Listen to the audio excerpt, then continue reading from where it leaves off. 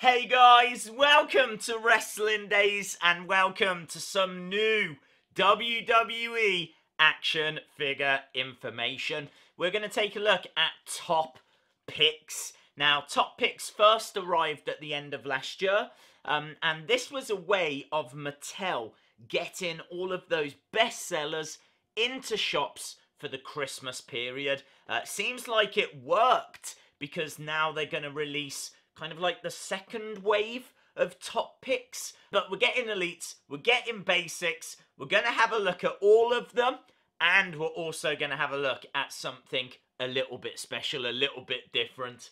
Uh, let's start, shall we, with the basics. Uh, on screen right now, you can see Jeff Hardy. Uh, this looks very similar, if not identical, to the Jeff Hardy that came in Battle Pack 53. Uh, so no face paint. Uh, I kind of get the feeling they're saving the face painted Jeff Hardys for the Elite line. Um, so yeah, still cool though. People love Jeff Hardy, uh, and so you will be able to get that on its own as a top pick basic. Next, we got Seth Rollins. Uh, this is the same as the SummerSlam basic we had the other year. Um, so yeah, a little bit surprising that this is just a re-release. Uh, I think there might be a difference with the face scan on it.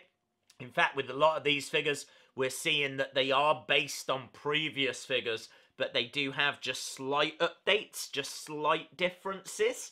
Um, but uh, yeah, you know, great attire, iconic attire actually, and not the last we're going to see of it in this video. Next, we've got AJ Styles. This is like a basic version of Elite 61. Um, and I think it looks pretty cool. Uh, not the best AJ Styles we're going to see in this video. Uh, but again, it's just a way of getting him onto the shelves uh, so that people have always got access to a basic AJ figure. Next, we got John Cena. Little bit surprised that John Cena is in this top picks because uh, we don't see John that often on WWE TV. Uh, I know he's arguably the biggest star of the past 20 years, um, but it would make more sense to have like Roman Reigns uh, in this top picks line. I think he's still their number one merch seller, so a little bit surprised that we've not got Roman here. Uh, or Daniel Bryan, or maybe even Kofi now that Kofi is the champ, or Becky Lynch. Like, has there been a bigger star than Becky Lynch in these past 12 months? So, uh, yeah, a little bit surprising, but here he is, John Cena. This looks like a basic version of Elite 64. Uh, not really a great deal to it. I think the face scan's pretty cool. I like the trainers. That's about it.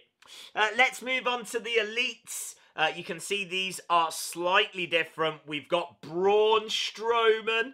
Uh, obviously, he wasn't in that basic line, but this is the same as Elite 68. Now, Elite 68's not out yet here in the UK. I don't think it's come out in America yet either. Um, but this top picks is going to be exactly the same. It's a very weird choice. Very weird. Like, you would expect them to go with, like, a previous Braun, Something that's not going to be on the shelves. Um, but yeah, it looks like this is going to be coming out around the same time as that Elite 68. Um, I mean, it's a great figure, don't get me wrong, and you get some great accessories with it. Uh, I mean, that double base is one of the best accessories we've ever seen. Uh, and the money in the bank briefcase as well. So, I suppose in that regard, it does make sense, but just weird timing.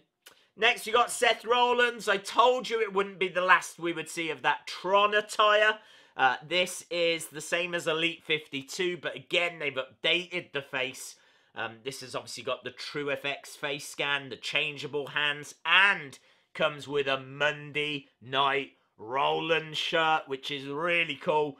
Um, that was one of the biggest shirts of last year. Next, we got Finn Balor. Uh, this is a great figure. Now, I think this is an original figure. I don't remember seeing Balor in grey before on any figure. Uh, so this could be uh, like a bit of a, an exclusive to the top picks line. Uh, and I really like it. I really rate it. I think it looks brilliant. I like the face on it.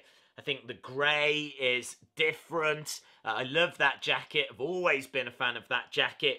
Obviously, it comes with the changeable hands as well. Uh, that's it's really interesting. I really do like that Finn Balor figure.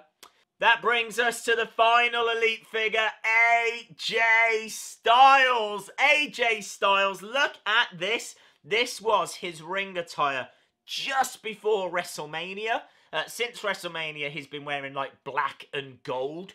But just before WrestleMania, he was wearing like black and this kind of fluorescent yellow. Um, I think it looks awesome. It comes with the WWE Championship. Uh, obviously, the changeable hands. It's got the logo on the gloves. I love the face scan. For me, out of all of the figures that we've looked at so far, this is the best. So they are on the way to stores. Uh, they will be hanging around a little while uh, so that people have got access to all of those big superstars, I'm guessing over the summer. Um, but that brings us to uh, the slightly different item I was talking about. Uh, and here is the image WWE HeroClix. Now, I don't know anything about HeroClix. This is the first time I'm even hearing of HeroClix, but apparently this is a very popular game. It's like a board game, it's got dice, uh, you can get Avengers characters, you can get Justice League. Um, they do loads of different brands. Well, now the WWE brand has joined up with HeroClix, and so you will be able to get these figures and use them in the game. You can see an image on screen. We got Stone Cold, the Macho Man, Finn Balor, John Cena, Ronda Rousey. Uh, they also mention in their brief uh, Trish, Trish Stratus, uh, which is a hell of a legend. That's brilliant. Uh, the Undertaker, Roman Reigns. Um, these are going to be available worldwide uh, at the end of this year. So apparently this is like a board game. You build a team, uh, your friend builds a team, and then you battle it out. It's a little bit like Top Trumps, but it's on a board game, and you've got the figures, and there's a collectible aspect to it. Um, I really need to look into it more, uh, but they do certainly look interesting.